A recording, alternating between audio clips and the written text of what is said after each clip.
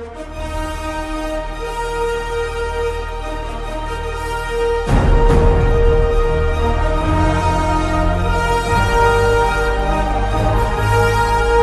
Model স্কুলের online ক্লাসে সবাইকে স্বাগতম জানাচ্ছি। আশা করি তোমরা আমাদের নবেশন মডেল স্কুলের অনলাইনে যে ক্লাসগুলো হচ্ছে, এই ক্লাসগুলো পেয়ে তোমরা উপকৃত হচ্ছ। আজকে তোমাদের জন্য আমি নিয়ে এসেছি নবম শ্রেণির উচ্চতর গণিতের একটি অংশ যেটা নাম হচ্ছে ত্রিকোণমিতি। দেখা যাক বন্ধুরা, তোমাদের ত্রিকোণমিতি, নবম শ্রেণির উচ্চতর গণিতের যে অংশটুকু আছে, আমি কি নিয়ে এসেছি এটা তোমাদের দেখাচ্ছি। নবম শ্রেণির ত্রিকোণমিতির অংশ যেটা আছে, যেটা উচ্চতর গণিতে আছে, প্রথম যে অধ্যায়টা আছে, এই অধ্যায়ের একটা সৃজনশীল প্রশ্ন তোমাদের সামনে আমি সমাধান করতে চাই। দেখো, এখানে একটা সৃজনশীল প্রশ্ন যেটা আছে যে ঢাকা থেকে খুলনার দূরত্ব হচ্ছে এস যা পৃথিবীর কেন্দ্রে আর থিটা রেডিয়ান কোণ উৎপন্ন করে। পৃথিবীর ব্যাসার্ধ হচ্ছে ছয়শো চল্লিশ কিলোমিটার, ছয় ছয় হাজার ছয়শো চল্লিশ কিলোমিটার এবং এখান থেকে আমাদের যে পর, ক নম্বর প্রশ্নটুকু আছে এইটার আমাদের নির্ণয় করতে হবে। তো আমরা চলে যাই ক নম্বর প্রশ্নের সমাধান করার জন্য। ক নম্বরে দেখো, আমাদের কি অংশটুকু আছে একটু খেয়াল করতে হবে বন্ধুরা, ক নম্বরের অংশে। নম্বরে যে প্রশ্নটা ছিল, উদ্দীপকের অংশটুকু ছিল, সেটা sine square pi by pi by seven plus sine square five pi by twelve fourteen এবং sine square eight pi by seven plus sine square nine pi by fourteen এই অংশটুকু ছিল। আমাদের মনে রাখতে হবে যে আমরা যে অংশটুকু আছে, যেটা আছে, ত্রিকোণমিতির অংশে, এই এই পোর্শনটাকে আমরা দুই ভাগ করব। খেয়াল করো বন্ধুরা, যে আমরা কোন অংশটুকুকে ভাগ করতেছি, এই sine square five pi by fourteen এবং sine square eight pi by seven sine square nine pi by fourteen এই তিনটা অংশকে ভেঙে আমরা লিখতে পারি কি সাইন সাইন স্কোয়ারকে আমরা ফাইভ পাই বাই ফোরটিনকে লিখতে পারি pi by two minus pi by seven এটা আমাদের মনে অনেকের প্রশ্ন জাগতে পারে যে আসলে এটা কীভাবে হলো আমি একটু দেখাচ্ছি তোমাদের করে sine square pi by two minus pi by seven pi by two minus pi by seven এটা আমরা লসাগু করলে পেয়েছি চোদ্দ seven pi minus two pi তো ফাইনালি রেজাল্ট হবে ফরটিন উপরে হবে ফাইভ পাই তো এই অংশটুকু কিন্তু আমাদের আসছে ফাইভ পাই বাই টুয়েলভ যাক এখন বন্ধুরা বুঝতে পেরেছ যে এই ফাইভ পাই বাই ফোরটিনকে আমরা ভেঙে pi by two minus pi by seven অংশটুকু। একই রকমভাবে এই অংশটুকু এই অংশটুকু আমরা পাবো। পরবর্তী ধাপে আমরা দেখা যাচ্ছে যে sine square pi by seven plus cos square cos square এই অংশটুকু কোথা থেকে আসলো? এই কজ স্কোয়ার পাই বাই ফোরটিনের অংশটুকু কোথা থেকে আসছে? এটা একটা আমাদের খেয়াল করতে হবে যে কেন? আমরা জানি যে আসলে যখন নাইনটি ডিগ্রি গুণিতক আকারে থাকে বেজোর গুণিতক আকারে থাকে নাইনটি ডিগ্রি নাইনটি ডিগ্রির বেজোর গুণিতক আকারের বিষয়টা কি আসে? একটু এখানে আমি তোমাদেরকে দেখাচ্ছি নাইনটি ডিগ্রি বেজোর গুণিতকটা কি আসলো? বন্ধুরা, খেয়াল করো নাইনটি ডিগ্রি বেজের গণিতক। নাইনটি ডিগ্রি বেজের গণিতকটা কি আসে? Pi by two pi by two into one minus pi by seven pi by two into one হওয়া মানে হচ্ছে নাইনটি ডিগ্রি আকারের গুণিতক আকারে দেখানো। তো আমরা পাই নাইনটি ডিগ্রির বেজোর গণিতক থাকলে সাইন পরিবর্তন হয়ে সেটা পরিবর্তন হবে হলো কস তো একই রকমভাবে তোমরা খেয়াল করতে পারো যে নাইনটি ডিগ্রি বেজোর গণিতক সাইন পরিবর্তন হয়ে যদি কজ আসে সাইন সাইন পরিবর্তন হবে কজ আকারে আসবে।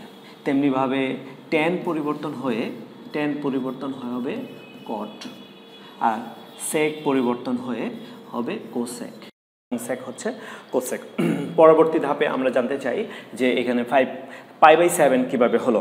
পাই বাই সেভেন হওয়ার জন্য আমাদের যে জিনিসটা আমাদের মনে রাখতে হবে যেখানে পাই বাই সেভেন খেয়াল করো, আমাদের একটা চতুর্ভাগ যে কোঅর্ডিনেট যেটাকে বলে, সেই চতুর্ভাগের বিষয়ে আমাদেরকে একটু জানতে হবে।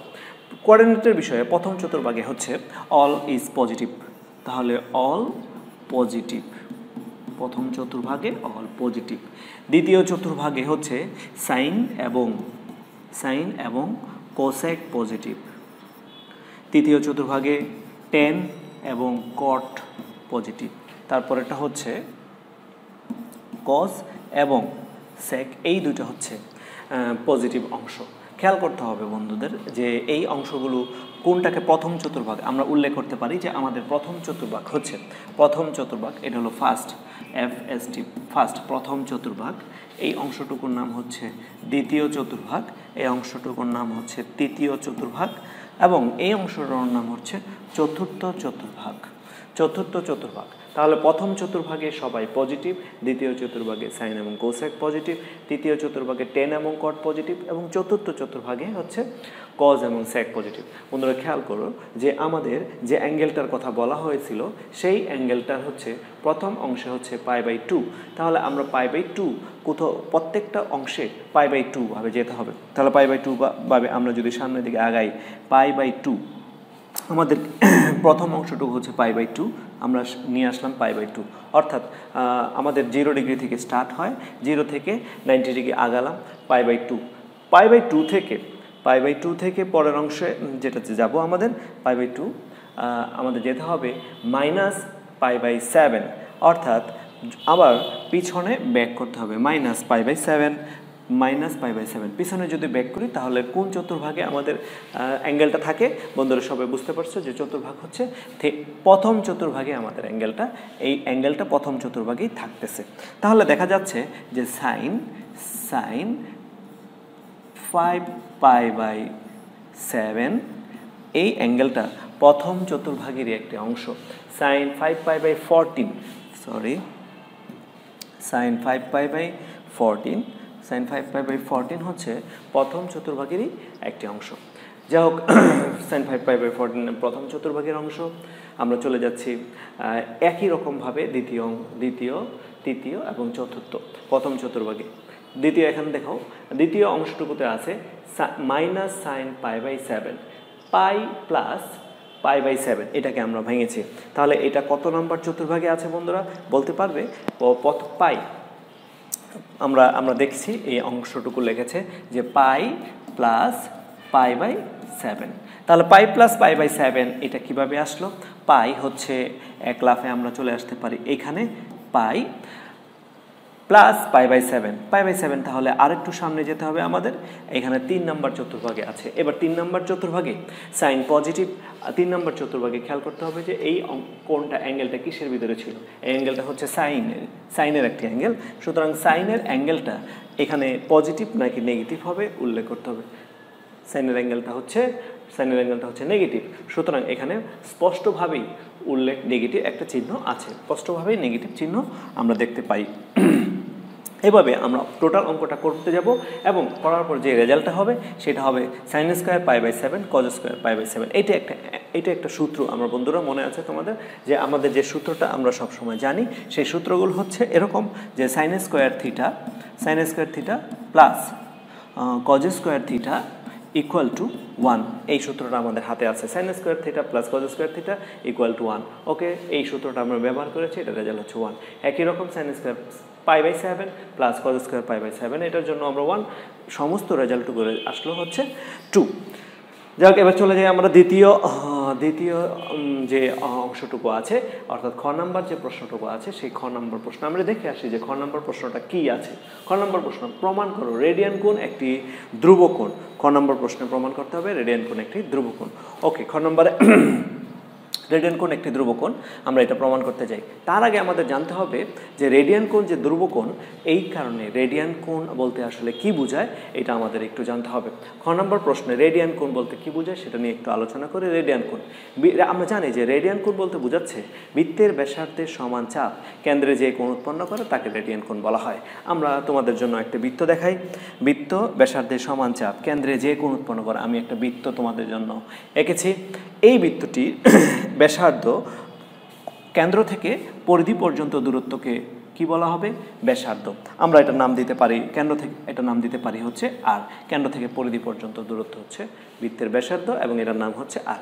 এই আর সমান বৃত্তচাপ, আর সমান বৃত্তচাপ, আর সমান বৃত্তচাপ, খেয়াল করো বন্ধুরা, আর সমান বৃত্তচাপ কেন্দ্রে যে কোন উৎপন্ন করবে, আর এর সমান, যদি আর আর এর সমান বৃত্তচাপ কেন্দ্রে এই বৃত্তচাপটি কেন্দ্রে যে কোণ উৎপন্ন করে, অর্থাৎ এইখানে যে কোণটা তৈরি হয়, সেই কোণটার নাম। এই কোণটা যে তৈরি হবে, সেই কোণটা হচ্ছে একটি রেডিয়ান কোণ। আর এর সমান বৃত্তচাপ কেন্দ্রে যে কোণ তৈরি করবে, সেটা হচ্ছে একটি রেডিয়ান কোণ। আমরা আর এর সমান বৃত্তচাপ কেন্দ্রে যে কোণ তৈরি করে সেটা হচ্ছে রেডিয়ান কোণ। ওকে রেডিয়ান কোণকে সাধারণত সি দ্বারা প্রকাশ করা হয়। রেডিয়ান কোণকে সি দ্বারা প্রকাশ করা প্রমাণ করতে হবে যে রেডিয়ান কোণ একটি ধ্রুবকোণ। এটাই আমাদের প্রুফ প্রমাণ করতে হবে যে রেডিয়ান কোণ একটি ধ্রুবকোণ। এটা প্রমাণ করার সুবিধার্থে আমরা চলে যাই বিশ নির্বাচনে। মনে করি ও কেন্দ্র বিশিষ্ট এবিসি বৃত্তে পিওবি একটি রেডিয়ান কোণ। ওকে আমরা এখানে নাম দিতে পারি যে ও কেন্দ্র বিশিষ্ট ও কেন্দ্র বিশিষ্ট একটি বৃত্ত আমরা নিয়েছিলাম। ও কেন্দ্র বিশিষ্ট বৃত্ত নিয়েছি। যে বৃত্তটির নাম হচ্ছে এ বি সি ওকে আমরা বৃত্তটির নাম দিই হচ্ছে এ বি আর হচ্ছে সি এবিসি ছিল একটি আমাদের বৃত্ত, যার ভিতরে পি ও বি হচ্ছে পি ও বি হচ্ছে কোন পি ও বি হচ্ছে একটি রেডিয়ান কোণ। প্রমাণ করতে হবে যে কোন পি ও বি হচ্ছে একটি ধ্রুবক কোণ। ওকে বন্ধুরা, চলে যাচ্ছি। প্রমাণ করতে হবে। পি ও বি একটি ধ্রুবক কোণ প্রমাণ করার জন্য। অঙ্কনের জন্য আমাদের প্রথম কাজ হচ্ছে ও বি রেখাংশে বা ব্যাসার্ধের উপর ও এ লম্ব এঁকেছি। এখানে ও বি এর উপর ও এ আমাদের লম্ব আঁকা হয়েছে। আচ্ছা প্রমাণ। ও এ লম্ব বৃত্তের পরিধিকে এ বিন্দুতে ছেদ করে ও লম্ব। আমরা দেখতে পাচ্ছ যে ও এ লম্ব বৃত্তের পরিধিকে এ বিন্দুতে ছেদ করে। ওকে আমাদের সম্পূর্ণ বৃত্তে আমরা টোটালভাবে এ ও বি একটি কোণ তৈরি হয়েছে। কোণ এ ও বি। আচ্ছা বন্ধুরা, খেয়াল করো যে এ ও বি যে কোনটা তৈরি হলো, এই কোনটা আসলে কত ডিগ্রি বলতে পারবে? কে বলতে পারবে? আমার মনে হয় সবাই বুঝতে পেরেছে যে এখানে দেখে বোঝা যাচ্ছে যে এ ও বি কোনটা হচ্ছে নাইনটি ডিগ্রি, অর্থাৎ pi by two A O B কোণ। এবং এই এ ও বি কোণ সম্পূর্ণ বৃত্তটির চার ভাগের এক ভাগ, এক অংশ জুড়ে আছে। তাহলে আমরা সম্পূর্ণ যে চাপ তৈরি করেছে, এখানে খেয়াল দেখতে হবে বন্ধুরা যে এ ও বি, এ বি একটি চাপ এ বি ছিল আমাদের একটি চাপ। এই এ বি চাপ সম্পূর্ণ বৃত্তটার চার ভাগের এক ভাগ, অর্থাৎ চাপ এ বি পরিধির এক চতুর্থাংশ এখান থেকে আমরা আমরা জানি যে টু পায়ার হচ্ছে বৃত্তের পরিধি। পরিধির চার ভাগের এক অংশ হলো pi by pi r by two চাপ পিবি পিবি চাপটার কথা একটু খেয়াল করতে হবে বন্ধুরা। এখানে দেখো যে পিবি যে চাপটা তৈরি হয়েছে পিবি চাপ পিবি চাপ, এই পিবি চাপ, এই পিবি চাপ আসলে ব্যাসার্ধের সমান। রাইট পিবি চাপ কার সমান? ব্যাসার্ধের সমান। ওকে পিবি চাপ ব্যাসার্ধের সমান। আর সম্পূর্ণ এবি চাপ হচ্ছে pi by two pi r divided by two pi r divided by two চলো নেক্সট আমরা চলে যাই। আমরা একটা জানি এটা আমাদের বইয়ে আছে, প্রতিজ্ঞা তিন। আমরা জানি চাপদ্বয়ের অনুপাত আর চাপদ্বয়ের অনুপাত, আর চাপদ্বয়ের দ্বারা কেন্দ্রে যে কোন উৎপন্ন করে, সেটার অনুপাত সমান হবে। ওকে, আমরা চাপদ্বয় দ্বারা কেন্দ্রে যে কোন উৎপন্ন করে সেটা অনুপাত সমান হয়। কারণ পি ও বি একটি কোণ তৈরি করেছে, খেয়াল করতে হবে বন্ধুরা, যে এখানে একটি কোণ তৈরি করে পি ও বি যে কোণটা তৈরি হয়েছে এই জায়গায়। পি ও বি যে কোণটা তৈরি হয়েছে সেই কোণের ক্ষেত্রে আমরা এখানে উল্লেখ করতে পারি পি ও বি কোণ। পি ও বি কোণের মাধ্যমে যে চাপটা আছে আমাদের সামনে সেটা হচ্ছে পি বি একটি চাপ। একই রকম ভাবে এ ও বি একটি এ ও বি একটি কোণ একই রকম ভাবে এ ও বি এর যে কোণটা তৈরি হয়েছে, তারপর এখানে হবে যে যে কোণটা তৈরি হয়েছে কোণ, কোণের মাধ্যমে যে চাপটা তৈরি সেটা হচ্ছে এ বি একটি চাপ। তাহলে এই চাপ অনুপাত অনুপাত সমান হবে জাস্ট আমরা এখানে মানটা বসিয়ে দিব। মানটা বসিয়ে দিলে আমরা যে ক্যালকুলেশনে যে অংশটুকু পাই, সেই ক্যালকুলেশন করার পর যে অংশটুকু পাই সেটা হচ্ছে টু ডিভাইডেড বাই পাই একটা সমকোণ যেহেতু সমকোণ এবং আহ, সমকোণ এই অংশটুকু হচ্ছে সমকোণ টু এবং পাই এই দুটো হচ্ছে দুটি কনস্ট্যান্ট নাম্বার দুটো দেব সুতরাং যে রেজাল্ট পাওয়া গেল P P O B P O B গুণের যে রেজাল্টটা পাওয়া গেল সেইটা দুটো ধ্রুবক মান হওয়ার কারণে আমরা বলতে পারি যে রেডিয়ান একটি ধ্রুবক কোণ আচ্ছা ঠিক আছে বন্ধুরা, এই বিষয়ে তোমাদেরকে আমি পরবর্তী যে স্টেপ আছে, পরবর্তী ঘন প্রশ্ন আছে, এই ঘন নম্বর নিয়ে যেতে চাই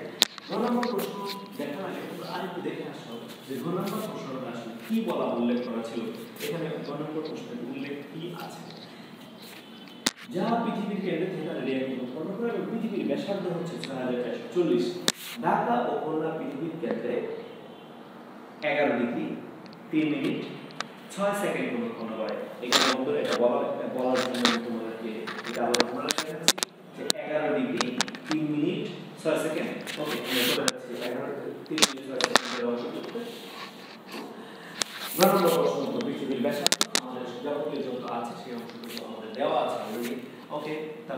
অংশে আমরা চলে গেলাম পৃথিবীর ব্যাসার্ধ আর সমান ছয় হাজার চারশো চল্লিশ কিলোমিটার। কেন্দ্রে যে সমান করেছে, সেই কোণটার পরিমাণ হচ্ছে এগারো ডিগ্রি, তিন মিনিট, ছয় সেকেন্ড।